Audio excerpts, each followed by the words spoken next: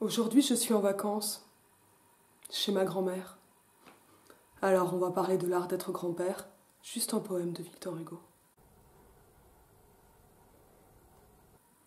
Ce poème, je vais déjà vous le lire. Il est connu. Moi, je l'avais appris en primaire. Jeanne était au pain sec.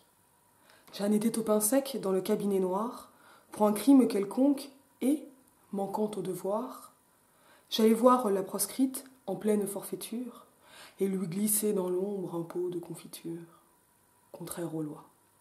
Tous ceux, sur qui, dans ma cité, repose le salut de la société, s'indignèrent, et Jeanne a dit d'une voix douce Je ne toucherai plus mon nez avec mon pouce, je ne me ferai plus griffer par le minet. Mais on s'est récrié Cet enfant vous connaît, elle sait à quel point vous êtes faible et lâche. Elle vous voit toujours rire quand on se fâche. Pas de gouvernement possible à chaque instant.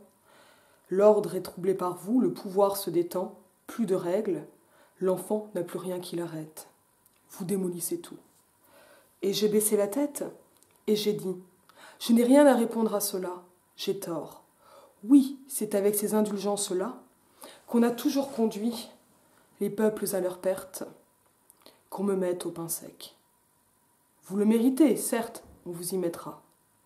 Jeanne alors, dans son coin noir, m'a dit tout bas, levant ses yeux si beaux à voir, pleins de l'autorité des douces créatures. Eh bien, moi, je t'irai porter des confitures. Qu'est-ce qu'il nous dit ce poème que je trouve si beau et qui est si simple comme ça en apparence? Alors, je ne vais pas pouvoir faire un commentaire exhaustif parce que j'ai oublié le transformateur de ma caméra, donc je n'aurai pas assez de batterie. Mais vous voyez comment en fait on retrouve quelque chose de très hugolien, qui est vraiment sa marque, à savoir les jeux d'enjambement, de retour au vert, etc., qui permettent d'avoir des effets de surprise. Mais on n'est pas du tout dans le spectaculaire de la légende des siècles, dans quelque chose d'aussi appuyé.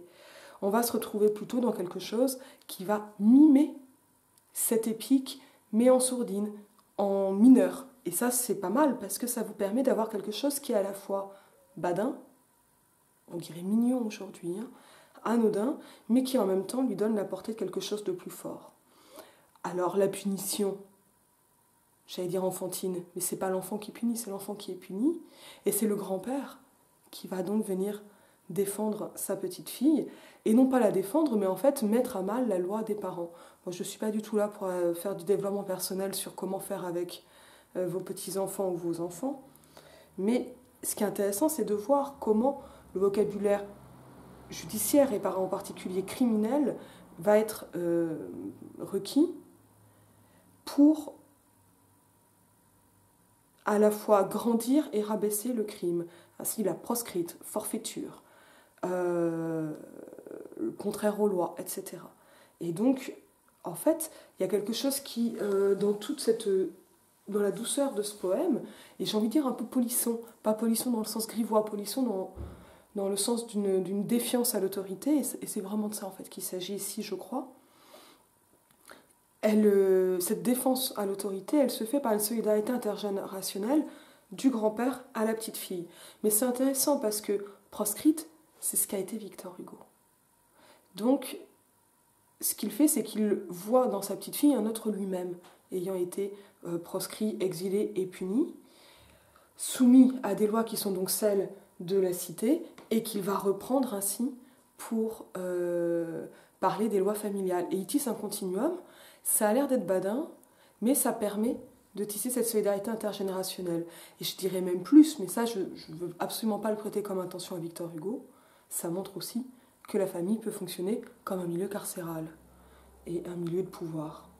Mais ce pouvoir, en fait, en étant le grand-père, et en plus en étant Victor Hugo, il est un patriarche et il met à mal le pouvoir directement parental par d'autres types de pouvoirs. Donc il y a une concurrence en fait entre les parents et les grands-parents qui apparaît ici. Concurrence éducationnelle, mais en fait une concurrence politique. Pas de gouvernement possible, à chaque instant l'ordre est troublé par vous, le pouvoir se détend, plus de règles, l'enfant n'a plus rien qui l'arrête. Et euh, vous démolissez tout. Et donc là on a vraiment quelque chose qui va en fait par la solidarité intergénérationnelle amener le grand-père à être lui-même puni à l'image de la petite fille. Et j'ai baissé la tête et j'ai dit Je n'ai rien à répondre à cela, j'ai tort, oui. C'est avec ces indulgences-là qu'on a toujours conduit les peuples à leur perte. Et c'est comme chez La Fontaine, on a l'impression d'une morale, à savoir qu'il faut respecter l'autorité du, euh, père, du père de famille. Donc ici, en fait, le fils qui n'est pas nommé. Enfin, le père ou, euh, le, gendre, hein, là, je ne sais plus comment ça se passe dans la famille, Hugo. Et, qui amène le grand-père à être lui-même un enfant, qui va être puni, ce qui amène ce retournement final de la solidarité intergénérationnelle qui se renverse. Eh bien, moi, je dirais porter des confitures. Évidemment, on peut le voir comme une réponse de la petite fille à son grand-père, son grand-père qui l'a aidé. Mais ce qu'on a aussi, c'est le finalement une transmission, une éducation à une certaine insurrection qui va aller, une certaine rébellion, plus qu'une insurrection, qui va d'abord être celle, en fait, euh, bah, de la gourmandise, d'un péché euh, quand même assez mignon, ou en tout cas qui lui-même a une indulgence. Et, euh, et le crime de Jeanne n'est jamais dit, hein, pour un crime quelconque, manquant au devoir, etc. Le crime de Jeanne devient le crime du grand-père, et donc la réponse du grand-père devient celle de Jeanne. Et, ça, c'est dans un, dans un recueil, alors je n'ai pas lu tout le recueil, hein, mais qui est l'art d'être grand-père, qui a fait des petits-enfants de Victor Hugo de véritables stars. Quand j'avais été à l'exposition à, la maison de Victor Hugo sur les caricatures de Hugo, il y avait des assiettes avec les portraits des, petits-enfants de Victor Hugo. Enfin, c'est la famille Kardashian, quoi, la famille Hugo à ce, niveau-là. Et ça, ça marche quand même euh, assez... Euh, c'est assez intéressant parce que ce qui va faire le salut de la société et la tranquillité, le respect des règles, finalement amène une transgression, un remords, ou du moins une nouvelle discipline du grand-père, inutile parce que l'ordre est à nouveau transcrit par la petite fille. Et c'est vraiment, euh, alors l'ordre, c'est euh, toucher euh, la civilité, hein, toucher mon nez avec mon pouce, je ne me ferai plus greffer par le minet, on suppose qu'elle a bien embêté le diminé, hein. donc le chat. Mais ce qui est présenté comme une situation particulière, l'anecdote familiale, cet enfant vous connaît, hop là, j'ai perdu la ligne, elle sait à quel point vous êtes faible et lâche, donc là en fait c'est une façon aussi de bien gouverner c'est pas seulement une question de bonne éducation, avec cette fausse morale du grand-père qui s'est soumis aux lois, c'est aussi une question politique. Et c'est un poème qui nous parle de tyrannie, de despotisme. Et si on est présenté comme faible et lâche, eh bien, l'enfant, voire le peuple, et souvent les deux sont assimilés, surtout au XIXe siècle, saura se rebeller. Oui, mais cette rébellion, elle montre peut-être, ne serait-ce que la disproportion de la punition par rapport au crime. Donc le pain sec et, le, placard pour une enfant. Un placard qui devient. Euh, le cabinet noir, pardon. Un cabinet noir qui devient euh, une ombre. Et ça, on sait à quel point l'ombre est importante chez Hugo. Et comment elle. Euh, voilà, elle en sort.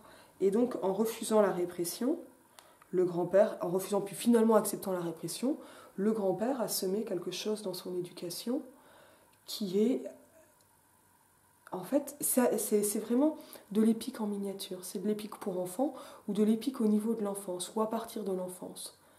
Bon, c'est pas que Jeanne, elle se lève et qu'elle dit euh, Je suis Spartacus, mais c'est quand même un peu ça, par le pot de confiture. Et cette solidarité, elle ne peut pas se dire. C'est pour ça qu'on n'est pas dans un. Elle m'a dit tout bas, mais elle va se tisser et euh, elle n'est pas seulement un lien d'amour entre le grand-père et sa petite fille, elle va aussi être donc ce lien qui se révolte contre la tyrannie, quel que soit le crime. Il ne s'agit pas de dire que le peuple est innocent, il s'agit de dire que le peuple se gouverne lui-même. Et donc là, en fait, ce qu'il y a, c'est vraiment au niveau de la cellule familiale, eh bien, ce qu'on peut voir dans, dans ce poème, c'est comment la cellule familiale elle-même reflète la société. Ça, c'est intéressant, parce que la séparation d'une sphère privée et une sphère publique, c'est un acquis de la Révolution française. Mais l'idée, c'est d'avoir un continuum. Alors, pourquoi? Parce qu'on va garder un système monarchique, celui du pater familias, à la maison. Quand il est de 1804, Napoléon l'entérine complètement. Alors que les républicains, les, sujets devenus citoyens, deviennent égaux. Mais c'est comme dans la ferme des animaux. Certains le sont plus que d'autres. C'était rapide, mais je vois que la batterie s'épuise. Je vous dis à bientôt.